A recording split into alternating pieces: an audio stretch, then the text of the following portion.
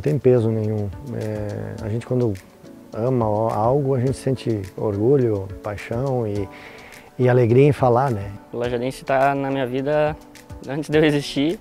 Cresci torcendo, depois me tornei um jogador profissional. Desde escolinha, base, é, profissional, pai envolvido, família envolvida, enfim. Eu me criei, eu me criei amando o clube, né? Era uma satisfação, né? Uma realização de um sonho, né? Por ser um menino da cidade, né? Por representar o clube estado afora aí, né? É um clube onde meu pai iniciou a carreira e eu sempre tive a vontade de iniciar ali também. Foi meus primeiros passos no profissional, meus primeiros jogos, então é uma lembrança muito boa e positiva e eu fico com esse carinho eterno no meu coração por esse clube maravilhoso que me abriu as portas e que até hoje eu tenho um carinho enorme. É uma honra, na verdade, para mim, né? É o clube da minha cidade, da cidade da minha família, o clube que, que sempre abriu as portas tanto para o meu pai quanto para mim. Então é, é como uma segunda casa para mim. E tenho muito orgulho de dizer que fui um atleta do Clube Esportivo Lajadense.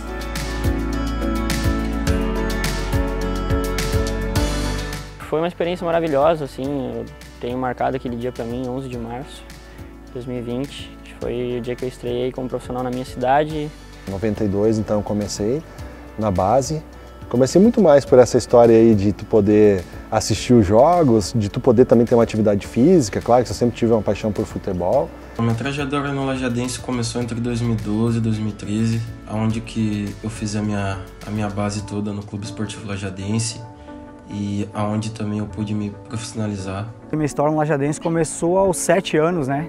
Era um sonho de, de, família, do meu pai, também por ter jogado alguns anos. Acabei entrando na escolinha, talvez um convite do Guidini, né?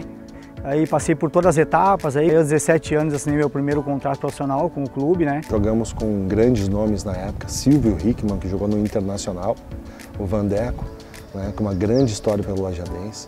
O próprio Paulão, lateral esquerdo, né, foi o homem que parou, Renato Portaluppi em 91. Cara, eu sempre fui muito de fazer gol, assim, né? De ter um pouco aquele que a gente fala aí do, do faro do gol, né? Já me descobri como centroavante, fazia muitos gols na época de juvenil. Nunca fui muito habilidoso e tal, mas sempre fui, fui goleador, né? Teve um ano no Lajadense aí que eu fiz 25 gols em um ano, dois campeonatos, primeiro semestre, segundo semestre.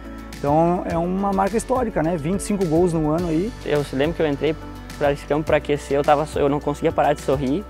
Então poder estrear nesse estádio e na noite, que era uma noite, foi uma noite perfeita, assim, a gente ganhou o jogo no final, então foi tudo, tudo como tinha que ser, foi tudo muito bom.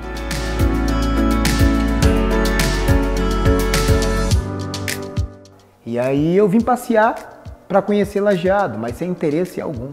E quando eu chego aqui, conheço a pessoa do Everton, conheci, conheci a estrutura e o projeto que eles tinham em 2008 para 2009 em subir. E aí eu tive a oportunidade de voltar em 2009, né, com o convite do Everton na época, como ele era o, o diretor de futebol, né. E no começo teve muito peneirão, porque começou o Lajadense na base quase do nada. Com muitas dúvidas, porque o clube estava fechado em 2008 e eu estava no, no estado do Paraná jogando, então ele me convidou para retornar, né. Eu pensava em largar todo dia. Todo dia eu pensava em ir embora, porque foi um projeto onde começou do nada e, e precisa de tempo para tudo que precisa ser consolidado ter qualidade.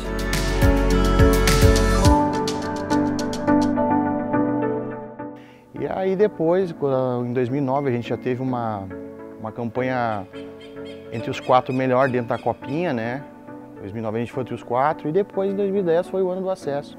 Aqui foi muito especial para mim. Eu tenho alguns títulos maravilhosos no futebol, tipo sou campeão da Copa do Brasil com Juventude, mas os títulos no Lajadense teve muito mais sabor. Eu sempre gosto de dizer que toda equipe tem um time, nós tínhamos uma família. Família você pode falar o que você acha, mas no outro dia nós vamos defender um ao outro. Nos momentos que eu passei aí, foi criada uma família que para mim existe até hoje. Eu encontro as pessoas e a gente conversa daquele tempo maravilhoso.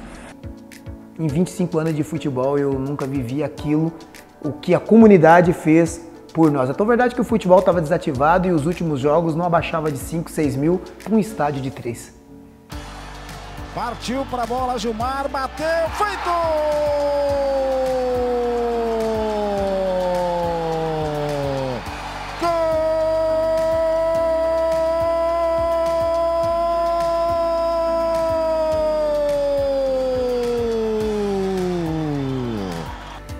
Todos os momentos são, são grandes momentos. Né?